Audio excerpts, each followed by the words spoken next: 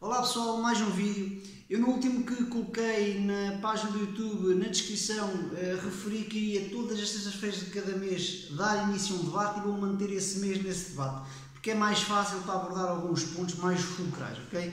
Por isso, currículo vitae, já chamei a atenção da foto, do e-mail, essas coisas todas. Qual é a forma mais eh, correta de iniciar o currículo vitae? É uma opinião minha, eh, há outras formas, ok? Mas, efetivamente, para a atividade de segurança privada, eu vou-me focar só nisso, vocês devem iniciar o vosso currículo vitae pela especialidade que vocês têm para aquela função que está a ser solicitada. Ou seja, se me pedem a mim, pessoal, para um shopping ou para uma portaria, eu sei que é com o cartão de vigilante. Então, quando eu inicio o currículo, eu devo colocar hum, a especialidade que eu detenho e provar à pessoa que me está a recrutar que eu realmente tenho cartão para aquela função.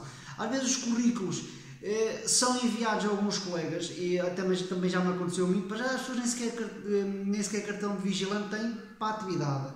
E depois mandam os, os, eh, os e-mails em branco, sem currículos vitais sem nada.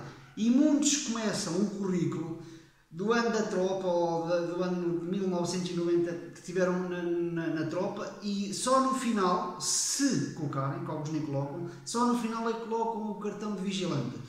Deve ser ao contrário, ok? A forma cronológica é efetivamente iniciar pelo mais recente para o mais antigo. Isto porquê?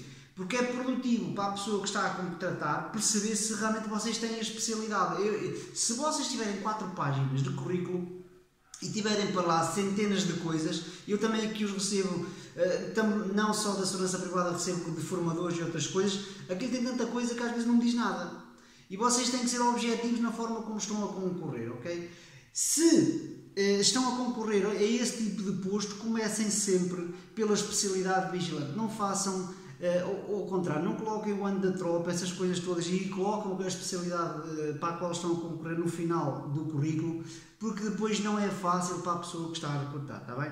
Eu no próximo vídeo vou falar de mais, de mais alguns assuntos, porque eu também não quero estar a esticar muito com o tempo, mas realmente atenção a esses currículos vitae. Comecem sempre pela especialidade para a qual estão a concorrer. Se eu concorro para coordenador de segurança, se eu concorro para a ARD, eu começo o currículo com a ARD. Isso vai-me obrigar a quê?